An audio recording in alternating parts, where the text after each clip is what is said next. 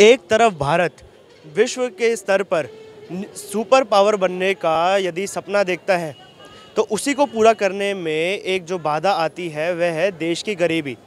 देश की गरीबी को मिटाने का काम देश के प्रधानमंत्री और राज्यों के मुख्यमंत्री करते ही हैं।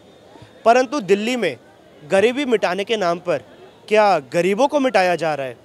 यही सवाल लेकर मैं आयुष शर्मा, स्वराज मीडिया नेटवर्क की तरफ़ से हम आ पहुँचे हैं कनॉट प्लेस के प्राचीन श्री हनुमान मंदिर के सामने।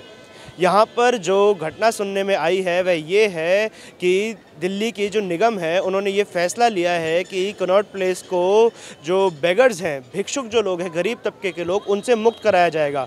इन लोगों को यहाँ से हटा दिया जाएगा। पर बड़ा सवाल ये उठता है कि इनको कहाँ हटाया जाएगा? क्या इन लोगों को नौकरी दी जाएगी? इन लोगों को आपके और मेरी तरह एक संपन्न ज़िंदगी जीने के लिए कुछ कार्य दिया जाएगा। इनको कहाँ पर विस्थापित किया जाएगा? अगर इनको सड़कों से हटाया जा रहा है, यही सड़क इन लोगों का आशियाना है, यही आसमान इनकी छत है और यही ज़मीन इनका घर है। यदि इन लोगों को यहाँ से हटा दिया जाता है तो ये लोग कहाँ जाएँगे?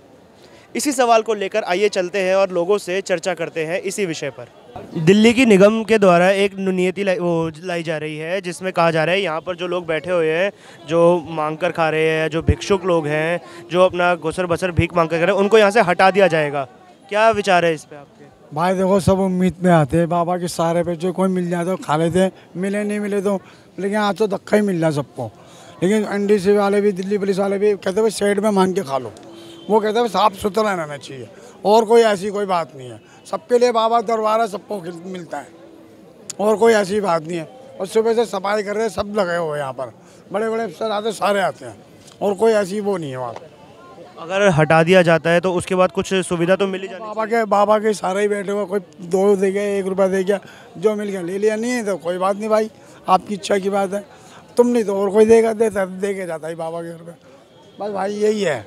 सर, यहाँ पर एनडीएमसी द्वारा एक फैसला लिया गया है कि यहाँ पर जो लोग भीख मांगकर अपना गुसर बसर करते हैं, अपने प्रतिदिन कमाते खाते हैं, उन लोगों को यहाँ से हटा दिया जाएगा क्योंकि इसका उन्होंने हवाला दिया है साफ़ सफ़ाई का और गंदगी का। इस पर आपके क्या विचार है?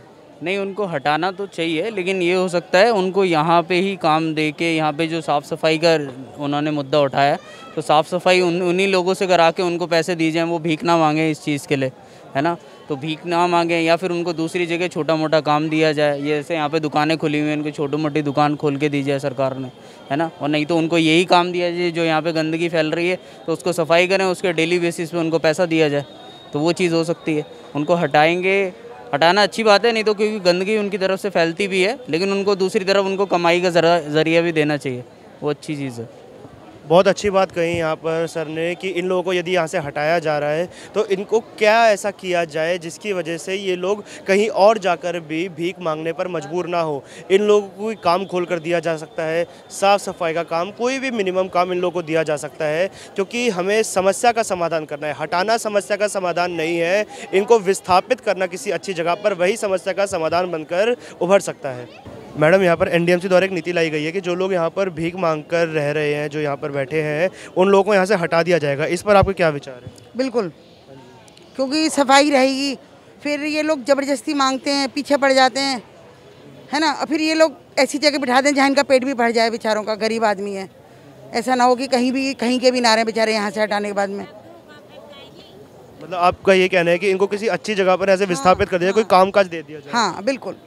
जिससे इनका गरीबों का भी देखो उद्धार हो जाए और अपना सही रहेगा इसके हिसाब से। भी मांगना नहीं चाहता। सब यहाँ मजबूरी से बैठे हुए हैं। तो हटाने से ये मतलब नहीं कि इनको मतलब कुछ ऐसी जगह इनका बना बना दी जाए प्लीज़ पूरे सिस्टम में कोई एक जगह कि यहाँ पर बैठ जाओ।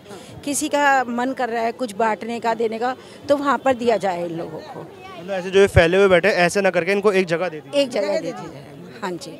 यस सर यहाँ पर जो निगम है उनके द्वारा ये फैसला लिया गया है कि जो लोग यहाँ पर भीख मांग कर जो रहते हैं जो बैठे रहते हैं लोग इन लोगों को यहाँ से हटा दिया जाए। इस पर आपके क्या विचार है? हटा देने चाहिए। क्योंकि प्रॉब्लम बड़े क्रिएट करते हैं। दूसरा मैंने यहाँ देखा कि इतने बड़े मंदिर में कोई हाथ धोने की जगह ही नहीं है कि साबुन से आदमी हाथ धो सके। जब मंदिर में दर्शन करने के लिए आया है उसके लिए हाथ धोने का व्यवस्था तो होनी चाहिए। अब मैं दस आदमी से पूछा कोई कहता है साबुन से कोई हाथ धोने का अरेंजमेंट नहीं है। तो काय का अरेंजमेंट है इनका? मतलब निगम अपने ही काम में फेल हो रहा है और दूसरों को हटाने में लगा हाँ। नहीं हाथ धोने की जगह नहीं है सारे इतने बड़े मंदिर में। कोई बात बनी? इतने मंदिर में कम से कम इतना सेवक आया है इतना भगत आया तो हाथ धोने के लिए उसको साबुन तो चाहिए। क्या इस अरेंजमेंट का क्या हुआ? और सर साफ़ सफ़ाई को लेकर यहाँ पर आपको क्या साफ़ सफ़ाई की व्यवस्था है इधर वैसे भी तो मैं अभी आया हूँ, तीन साल के बाद। बाकी तो अब देखूँगा, मैं तो हाथ धोने की इच्छा, में तो हाथ घूमूँ, हाथ धोने का कोई प्रोग्राम या नहीं है। बाकी तो तीन साल बाद मैं ये आया हूँ। यहाँ मैं आपको दिखाना चाहूँगा, यहीं हम हनुमान मंदिर के साइड में, कनॉट प्लेस में, आप देख सकते हैं, पीछे कैसे ये लोग यहीं पर रहने को मजबूर हैं। दिल्ली की ठंड में भी ये लोग यहीं पर ज़मीन पर सोते हैं। इन लोगों के पास कहने के लिए अपने मकान जैसा कुछ भी नहीं है, ना ही इन लोगों के सर पर छत है, किसी प्रकार का आश्रय इन लोगों को कहीं से भी नहीं दिया जाता। ऐसे में भी यदि ऐसी कोई नीति आती है जो इन लोगों को यहाँ से हटाने की बात करती है तो वह बहुत ही गलत चीज़ होगी। और इन लोगों को अगर यहाँ से हटा दिया जाए तो इन लोगों को कहीं पे विस्थापित करने की सुविधा सरकार द्वारा दी जानी चाहिए। बिना ऐसी कोई सुविधा, बिना ऐसी कोई स्कीम को बताए इन लोगों को यहाँ से नहीं हटाना चाहिए, क्योंकि यहीं पर ये लोग मांग कर खाने को मजबूर है। ऐसे ही हमारे एक दर्शक ने बहुत अच्छी बात कही थी कि इसको अगर कोई मांग कर खा रहा है तो वह मजबूर है। मांग कर खाना किसी को भी अच्छा नहीं लगता, मांगना, हाथ फैलाना एक शर्मनाक विषय होता है लोगों के लिए। परंतु पेट की भूख के कारण, मजबूर के कारण इन लोगों को यहीं पर लोगों के आगे हाथ फैलाने पड़ते हैं। इनकी इस मजबूरी का हमें सम्मान करना चाहिए। इन लोगों की ज़्यादा से ज़्यादा मदद करनी चाहिए। और यदि अगर मदद नहीं भी कर सकते तो हम निगम से सबसे पहले तो यही दरखास्त करेंगे कि इन लोगों को यहाँ से अगर आप हटा रहे हैं तो विस्थापित करें। अन्यथा बलपूर्वक लोगों को यहाँ से ना हटाया जाए। मैं आपको दिखाना चाहूँगा कितनी दयनीय यहाँ पर स्थिति है लोगों की। और पूरे हनुमान मंदिर के पास हम देखें तो सौ डेढ़ सौ की संख्या में लोग यहाँ पर मौजूद होंगे।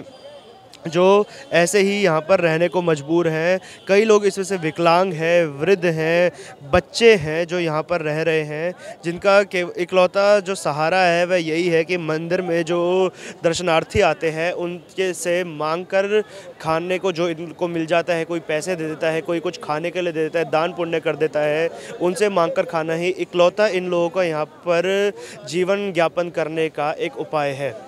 तो स्वराज मीडिया की टीम आपसे जानना चाहेगी कि क्या इन लोगों को यहाँ से हटाया जाना चाहिए या नहीं?